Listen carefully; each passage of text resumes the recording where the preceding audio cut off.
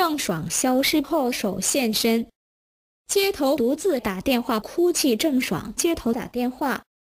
新浪娱乐讯，一月十八日，据媒体报道，一月十二日，消失两个月的郑爽独自一人现身上海机场，皮肤苍白，全身包裹严实。期间与粉丝聊天，还曾露出笑容。之后，郑爽到一家快餐店就餐。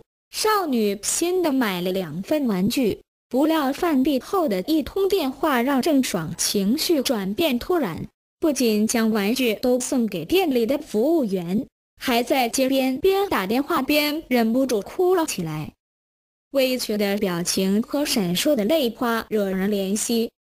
郑爽自电视剧《夏至未至》杀青后就鲜少出现，消失几乎两个多月。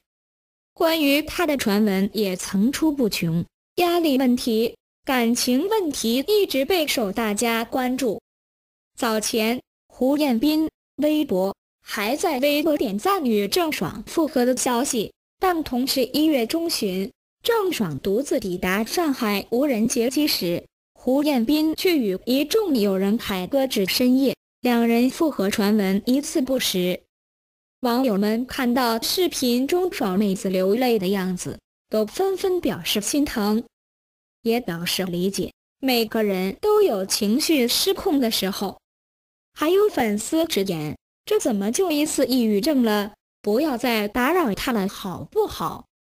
实习生石安文责编：大米像爸爸。有人称小海绵翘下巴复制黄晓明。新浪娱乐讯。据台湾媒体报道，Angelababy 十七日凌晨在香港生下儿子小海绵，夫妻俩的工作室发表声明证实此消息。A.H 夫妇共同有了爱的美好延续，从此一加一等于三。黄晓明微博随后也在微博上贴出父子俩碰圈照，互动相当可爱。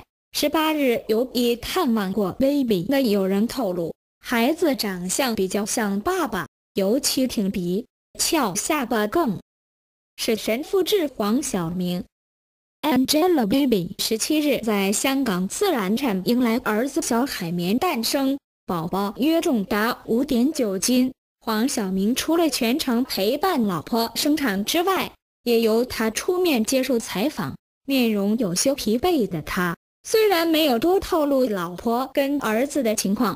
但十分周到的问候大家。据报道，黄晓明有人透露，小海绵长相和爸爸比较相像，尤其有个超挺鼻子和翘下巴，且耳朵很饱满，看起来颇有福气，模样也相当可爱。据悉，黄晓明和 Angelababy 被粉丝称为“海绵夫妇”，源自于2010年两人恋情。还在传绯闻的时候，女方常在微博提到海绵蛋糕和小明大哥的粤语发音相似，被联想隔空传情。小俩口结婚后，也就被港媒称为海绵夫妇。儿子取名小海绵，正是象征夫妻俩爱的结晶。E.P. 的 J 文则编：大发六元素颜，双眼皮超厚，感冒依旧唇红肤。白柳岩素颜，双眼皮超厚。新浪娱乐讯，一月十八日中午，柳岩微博微博晒出一张素颜自拍照，照片中的她睁着大眼睛，抿着嘴，露出略带委屈的表情。女神怎么无精打采的？柳岩发文解释道：“感冒就像中了化骨绵掌。”粉丝们更是一阵心疼。照顾好自己，快点好起来！一月十七日，柳岩微博晒出和傅园慧在二千零十六微博之夜活动上的合影，变身米姐，整个人神采奕奕，状态不错。结果谁知感冒来得太快，今天柳岩微博发文称感冒就像中了化骨绵掌，并配发一张素颜自拍照。虽然女神依旧美丽，但却略显疲倦和无力。最近天气寒冷，加上可能年底工作忙碌，女神此番患上感冒，引得粉丝阵阵心疼。天气冷，多穿点，照顾好自己。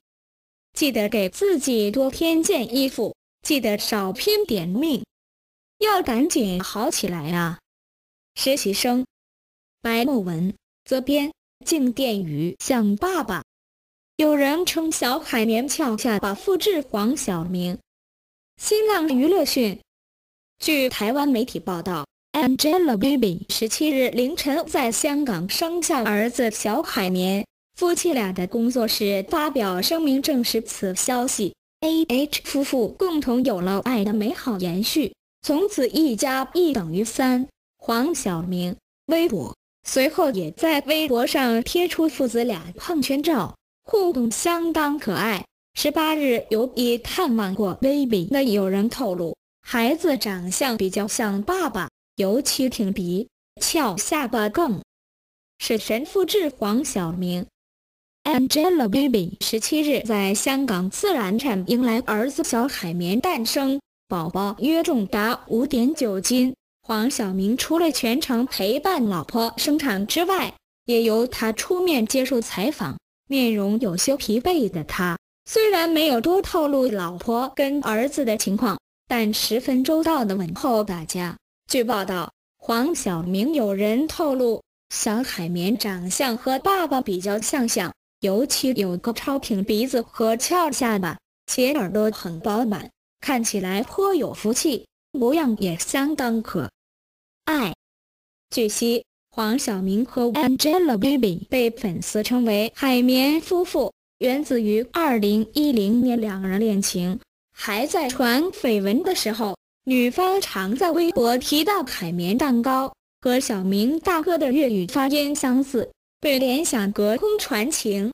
小俩口结婚后，也就被港媒称为海绵夫妇，儿子取名小海绵，正是象征夫妻俩爱的结晶。